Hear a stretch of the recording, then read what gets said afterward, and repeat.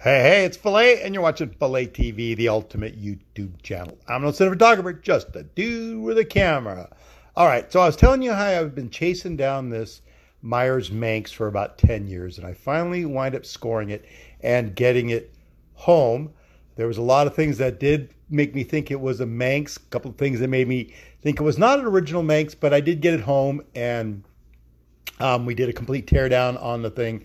And regardless of what people said on the internet and what I believe, even if it is a true Manx, it was just the body was just too far gone to get back on the road. Not worth salvaging. So I'm going to strip it. I'm going to cut it up. I'm going to get rid of it. And I am going to put on a brand new lime green Meyers Manx classic body on the car. Anyways, hope you guys enjoy this video. This last shot is what it looks like now. It's cut up into a bunch of pieces. So I hope you guys enjoy it. Thanks. Here we are. It's been such a battle trying to get this roll cage out of here. You can see that it's got brackets going into the shock towers over here and it's just a mess. So I'm cutting it out as much as I can. I'm to get the hood off so I can get in here and get the rest of this taken out. You can see, I mean, look at the job they did to try and extend the length of this. And here's my pile outside with the scrapper so far. And we got more that's going to join it. Of the rest of this is cut out, so got one little piece right in there to get with the Sawzall. And I'm going to yank this out. And then we're going to get under here and then bolt the gizmo that they had here for the rear cage. And you can see the gas tank mount was in here as well. And it's just a mess down here. Let's see if I can get a better shot. So more than likely this body is going to get scrapped because if it is, even if it is a real Manx, it's pretty far gone. But I have a feeling that it's not even a real Manx. There's just a couple of things that are changed my mind. And like I said, it's so far gone that it wouldn't even be worth saving. All right, I'm gonna dig the rest of this out. See you in a little bit. Okay, here's what's going on in the shop. I cut the roll bar out of what we just figured out to be a fake copy of a Manx. So I stole the hood and I put it over there on the citation. It's gonna look good. Scored a great set of seats from my buddy Paul Kenny. Not sure what they are, but they are going to work pretty sweet. Like I said, most of the roll bar is all the way out. Still going to contend with this. This body is really trashed, as you can see. I mean, everywhere you look, it's messed up. It's got tons of holes in it.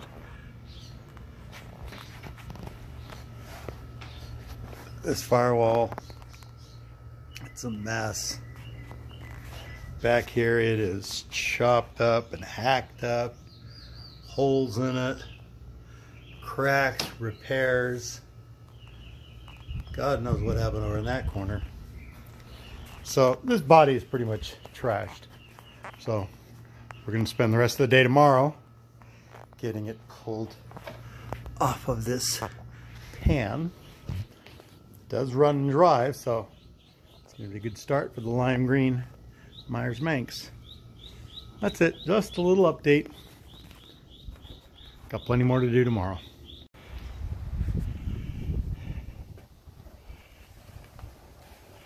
Okay, makes it a lot easier to cut this thing up than to try and unbolt this whole mess that's going on. Give you an, idea some of the holes that were in it where would have just taken too much to repair.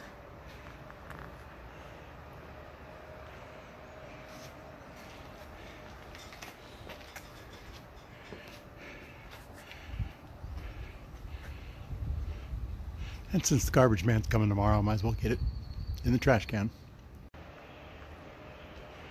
And there we have the back of it. The firewall. As you can tell, pretty banged up. Okay, with most of the stuff stripped off the body, I'm going to go ahead and dispose of it.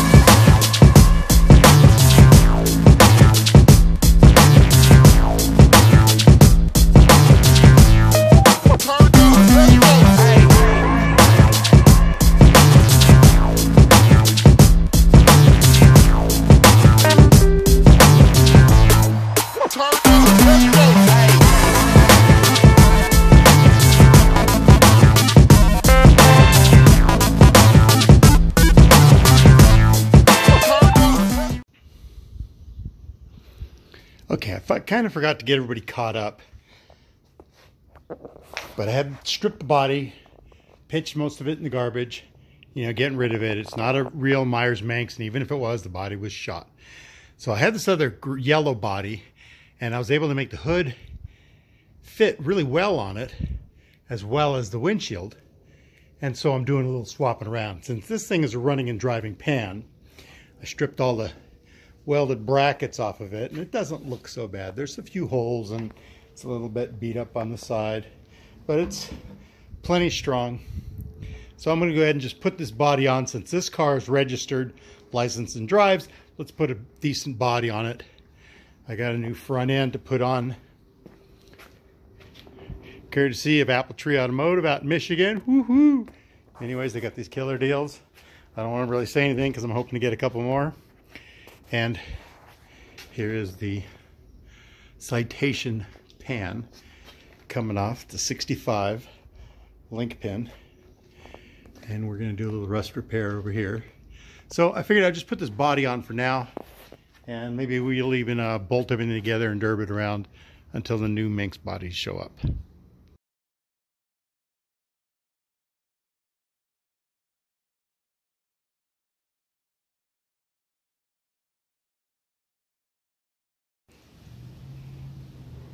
And just like that, it's able to move the body over. Still got a little adjustment to do, but all the bolt holes are lining up, which is pretty incredible. Every single one of them. So I'm to do a little bit more cleanup on this pan. I've ordered the new replacement quarter pieces. Changing the hood, bolting it all down, and we're going to derb this thing for a little while since the body is in such nice condition. I mean, look at this. The red headlights taken off or put on. Got a new front beam with adjusters here. And that brings us to the citation, which is going to be, I think, the donor car for the Fuchsia Glitter Meyers Manx. We'll introduce this one in a little while. All right, there you have it. This is going to be something I'm just going to cruise around while I wait for my Meyers bodies that I have on order. And I hope they get here quick because I am definitely tromping at the bit. All right, thanks for watching. Don't forget to subscribe, hit the notification bell so you can keep up to date on all these projects that I have going on here on Phila TV. Thanks for watching. Ciao.